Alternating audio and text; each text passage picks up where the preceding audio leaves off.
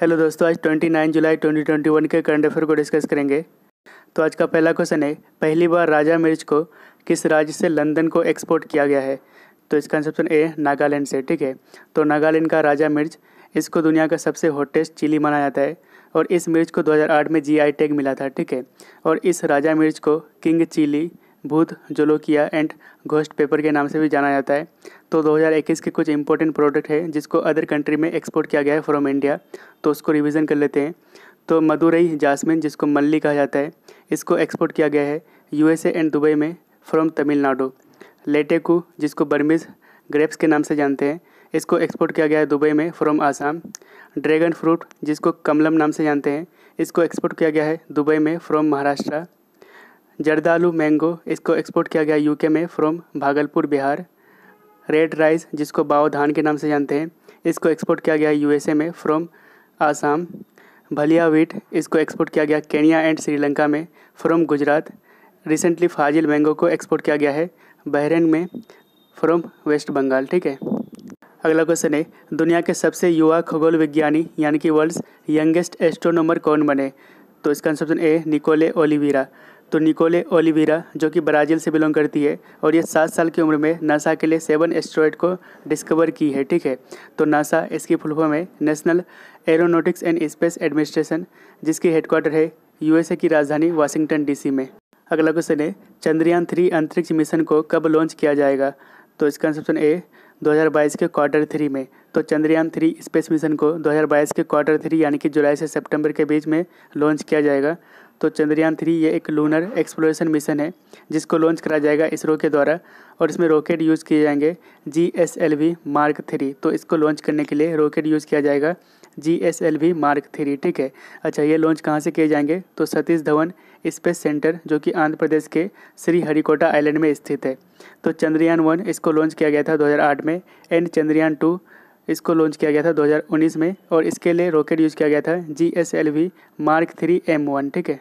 कौन सा I N S यानी कि Indian naval ship exercise Cutlass Express 2021 में भाग ले रहा है? तो इसका आंसर ऑप्शन भी आई एन एस तलवार, ठीक है? तो एक्सरसाइज कटलेस एक्सप्रेस 2021 ये एक एनुअल मेरीटाइम एक्सरसाइज है, जिसको 2021 में केनिया के मोम्बसा में कंडक्ट किया जा रहा है, ठीक है? तो ये कब से कब तक चलेंगे? तो सत्ताईस जुलाई से छः अगस्त तक। और ये एक्सरसाइज क्यों किया जा रहा है? To promote national and regional maritime security in East Africa and western Indian ocean ठीक है? और इसमें पार्टिसिपेट करेंगे twelve eastern African country UK USA India plus various international organisation जैसे IMO Interpol and UNEP four तो IMO यानी कि international maritime organisation तो केनिया आपको मैप में यहाँ पे मिल जाएगा, जिसकी कैपिटल है नैरोबी और करेंसी है केनियन सीलिंग ठीक है? और यहाँ पे आपको मिल जाएगा केनिया का मोम्बसा। क्वेश्चन है विश्व हेपेटाइटिस डे, यानी कि वर्ल्ड हेपेटाइटिस डे, कब मनाया जाता है? तो इसका आंसर ए, हर साल 28 जुलाई को वर्ल्ड हेपेटाइटिस डे मनाया जाता है। तो इसको मार्क किया जाता है डब्ल्यू एच ओ के द्वारा, यानी कि वर्ल्ड हेल्थ ऑर्गेनाइजेशन के द्वारा, जिसकी हेडक्वार्टर है स्विट्ज़रलैंड के जेनेवा में, ठीक है? अच्छा अट्ठाईस जुलाई को क्यों मनाते हैं? क्योंकि इसी दिन Nobel prize winning scientist doctor Baruch Blumberg का जन्मदिन होता है। और डॉक्टर ब्रुच ब्लूमबर्ग, इन्होंने हेपेटाइटिस बी वायरस की खोज की थी, ठीक है? तो इस बार 2021 में वर्ल्ड हेपेटाइटिस डे की थीम है, याद रखिएगा 2021 में। हेपेटाइटिस कांट वेड, ये थीम है इस बार की। एंड हेपेटाइटिस, ये एक वायरल डिज़ीज़ है और ये होता है हेपेटोट्रोपिक वायरस के कारण, जो हमारे लीवर को इफ़ेक्ट करता है, जिसके कारण लीवर इन्फ्लेमेशन यानी कि लीवर में सूजन होता है, ठीक है? तो हेपेटाइटिस पाँच तरह का होता है, hepatitis A, B, C, D, and E, ठीक है?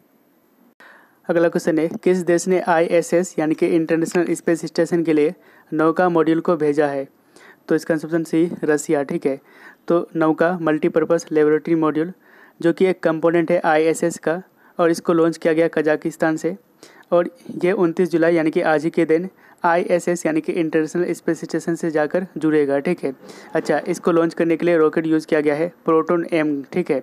अच्छा आईएसएस यानी कि इंटरनेशनल स्पेस स्टेशन ये 1998 से स्पेस में है और ये मतलब ये space station five space agency का स्पेस स्टेशन है।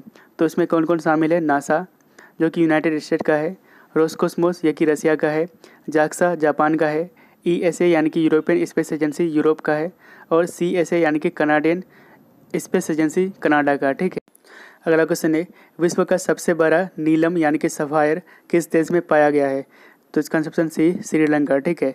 तो world's largest star sapphire cluster ये कहाँ पे पाया गया है? तो श्रीलंका में और इसका नाम दिया गया है सेरेन डिप्टी सफ़ायर ठीक है, याद रखिएगा सेरेन डिप्टी सफ़ायर और जिसकी वेट है 550 किलोग्राम या फिर इसको 2.5 मिलियन कैरेट्स कर सकते हैं, ठीक है, और इस सफ़ायर की, यानी कि नीलम की कॉस्ट है 100 मिलियन डॉलर अगला क्वेश्चन है Indian institute of food processing technology किस राज्य में स्थित है?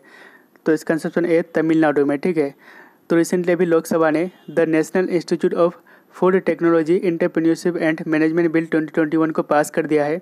तो इससे पहले इस बिल को राज्यसभा ने पास किया था और रिसेंटली अभी लोकसभा ने पास कर दिया है। अगर प्रेसिडेंट अपना अनुमति यानी कि एसेंट दे देते हैं तो ये बिल एक एक्ट बन जाएँगे, ठीक है?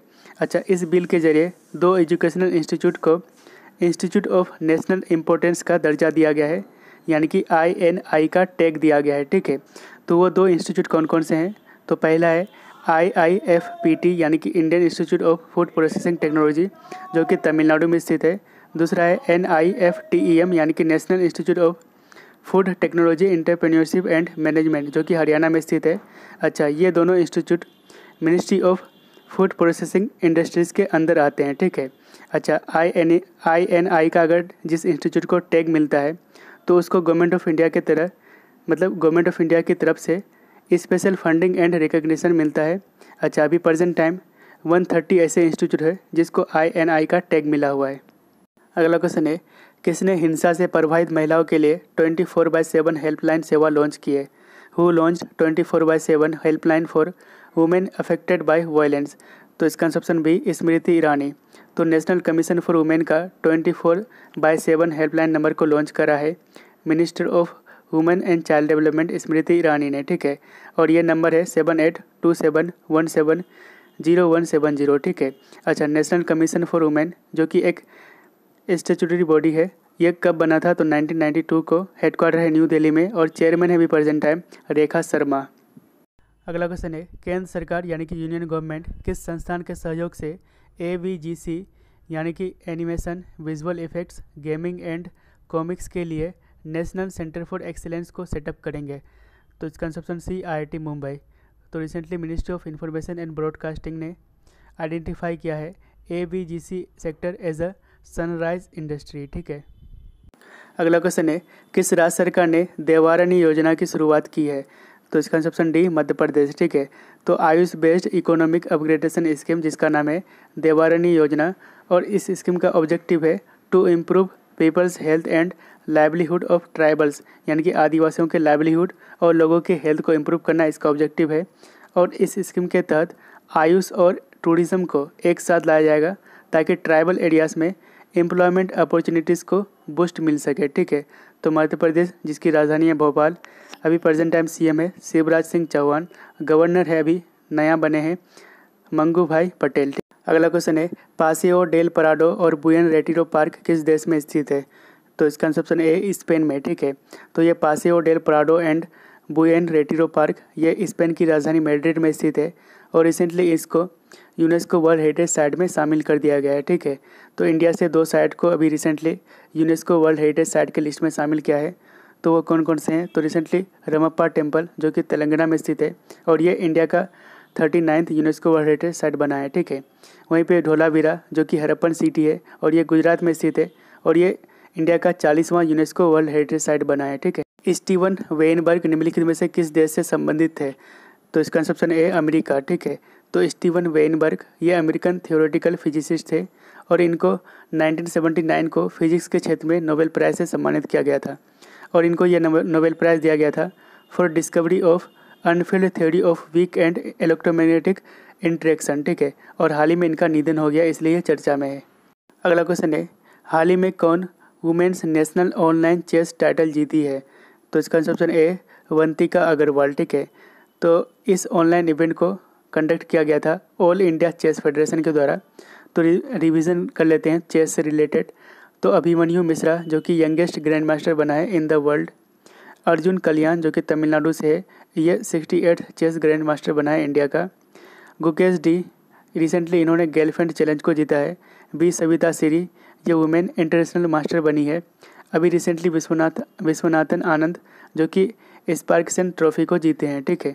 और ये भारत का पहला ग्रैंड मास्टर है। ये प्रीवियस डे का क्वेश्चन है तो इसका आंसर आप कमेंट में ज़रूर दीजिएगा। तो क्वेश्चन है एक्सरसाइज इंदिरा 2021 भारत और किस देश के बीच होगा?